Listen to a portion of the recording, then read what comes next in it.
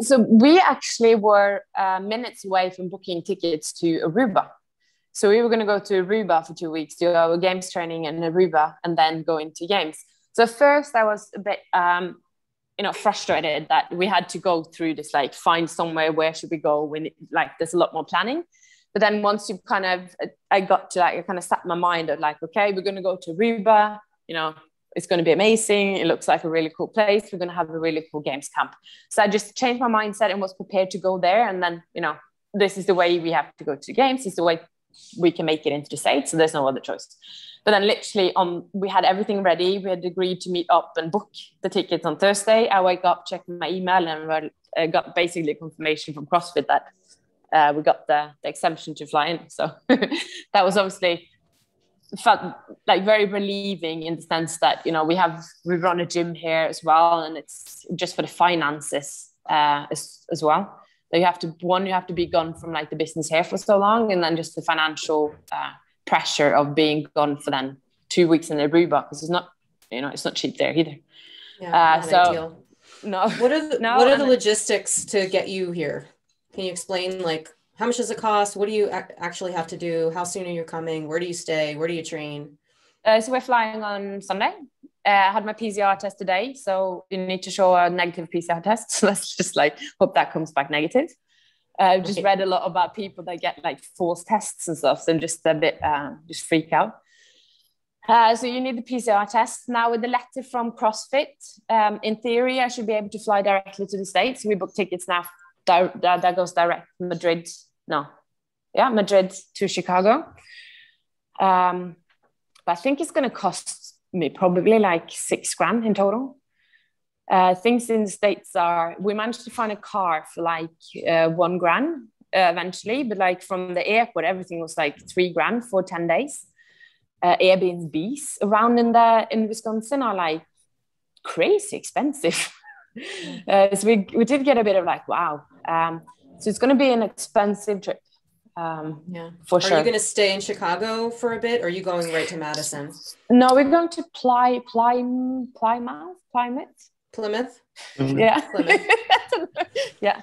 Uh, so in Wisconsin, so that's a bit outside of Chicago, uh, like an hour away from Madison or something, I think. Because okay. uh, we that's where we found like yeah decent Airbnb and a gym, and it's also quite nice to stay not in Madison because there's so many athletes and it can it tends to get quite hard to be able to train as well when there's so many competitors in one gym. Uh, so we chose to go a bit outside for 10 days and then we're going into Madison on the Sunday and then registration on Monday. Mm. Are there any complications of you going back to Spain? And uh, I just need a PCR testing and going in. So that's the good. thing. So, but then if you, uh, so if I were to go to Norway, for example, I have, have uh, haven't actually been to Norway now for a year and a half uh, because you have to quarantine uh, there for 10 days uh, in like a quarantine hotel before you can do anything else. So that's just out of the question. However, now with the vaccine, you can actually go in without quarantining.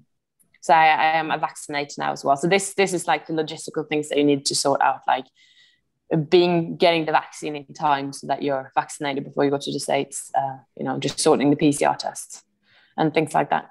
Mm. Yeah, one of the reasons I wanted to have you on is um, I was on your Instagram. You had made the post. Does anybody know any good gyms in the Caribbean or Mexico? Yeah. yeah. Uh, when you were trying to find that other way into the states. Yeah. And talk to you about that. But thank goodness, in the time we we scheduled this, they got that resolved. Yeah, it's very good. We were. I think the, the worst part about that was kind of like the not knowing. So CrossFit kept saying like they they seemed quite confident that they were going to get it. But at the same time, it's like, it's on your risk. We can't promise it. So we were like, what are we supposed to do? And it gets to the point where since you have to stay there for two weeks, you know, you have to leave. Uh, and we then set that date to be on Thursday. So we were like, if we don't know about Thursday, we're going to book it and we're going to leave on the Sunday. Uh, and then basically the day we said like, like, this is our kind of dead, this is where if we don't know anything, we have to organize stuff. We actually got it on that day. So quite lucky in that sense.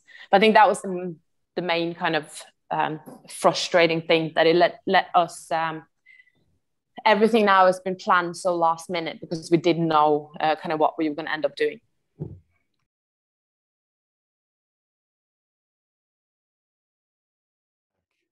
Uh, so this is when I met John, which is now uh, he's my coach and my partner, uh, and he was living like the nomad life basically. I think like three four years.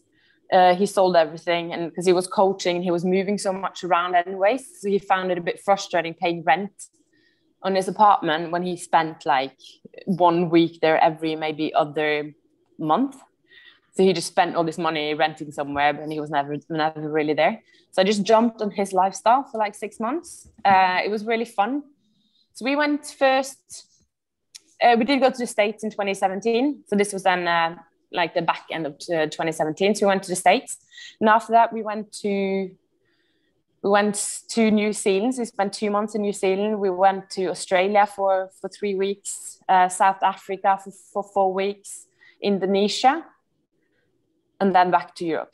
So we were for like five months basically on the other side of the world for for me then uh, if you think like you know talking to friends and family uh, so then moving to spain felt like home again because now it's just a, you know a three hour flight home to norway. Wow. That that seems really awesome. Yeah what it was really cool. was it like life changing to just not depend on uh, like a permanent fixture as your home? I, I think the nicest thing was realizing that actually you don't need that much stuff. Like this you have so many things like in your home and then just realizing that actually you can live out of your bag. So you don't need that many things. That was quite um, liberating in a way. Uh, so i think that was the was the main main thing that kind of like that that i got out of that uh, if you can say like that. And then just seeing so many different cultures and stuff i think you you do grow a lot as a person when you when you travel around and meet a lot of new people. Uh, so it's really cool uh, if we bring it kind of back to the athletic um, career again, uh, I did then realize that in 2018, when I was so close to making it but didn't make it, that living that lifestyle of constantly traveling is, I think you can maintain your fit, fitness, but it's hard to improve your fitness when you live that lifestyle. So it was after not making it in 2018, um, I told my partner that you know I, I I'd like to have a fixed base. I would still like to travel a bit, but not to the extent that we did before um, because it's just I'm not going to make it to where I want to make it as, as an athlete, basically.